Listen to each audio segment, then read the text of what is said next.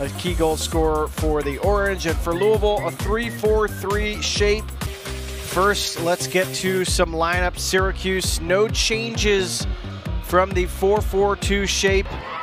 Both teams trying to get a feel for each other early on. Addie Chester getting some of her first touches. This is Emerson Jennings for Louisville. Down this right side, Fiona Geyser with a shot.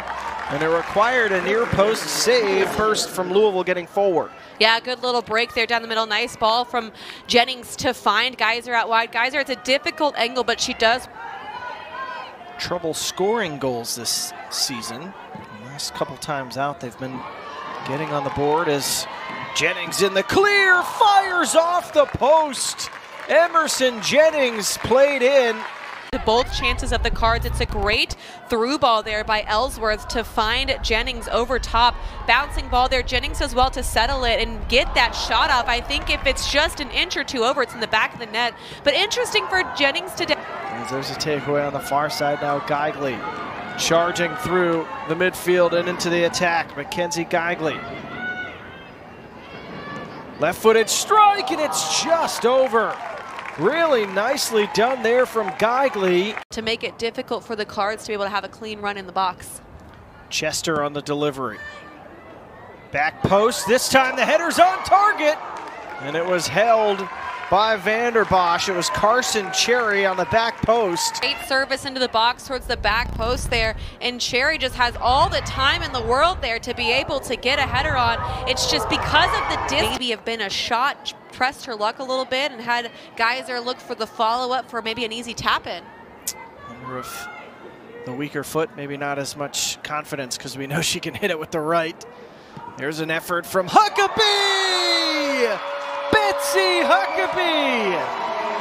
What a goal for the freshman.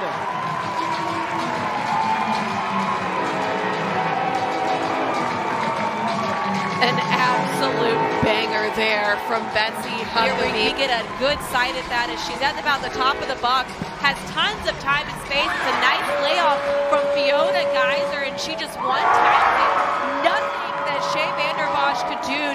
Keep that one from hitting the back. War between the rest of those teams and who is going to be the one that breaks through that season. Chester trying to add something here for Louisville. Again to the back post. It falls to Emerson Jennings!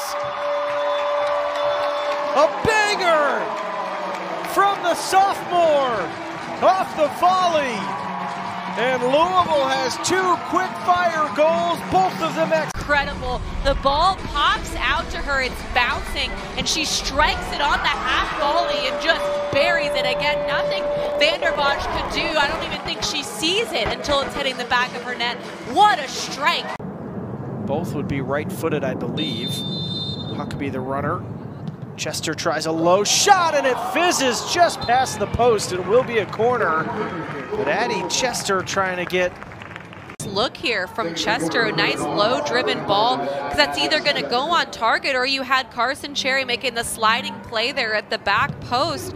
It's a nice little look. Van de Clout and Liesel Auden have moved into center midfield roles. A big storyline today for Syracuse. The departures of Aaron Fleury and Ashley Roche through injury as Syracuse on this other side. It's a goal for the Orange. Holy against the run of play, but Syracuse gets one back.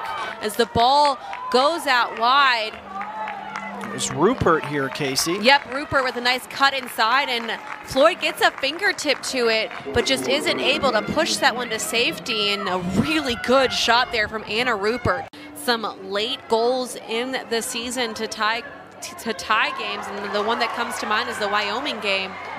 Hiscock far post. Great save from Vanderbosch. It's still alive. There's two players down in the area, one for each team. Making her 10th today and maybe the biggest one she's had to make. Yeah, this is a great save, and she does really well to push that one even past the run of Molly Cochran, who was trying to fall. What a second half that was. Very entertaining.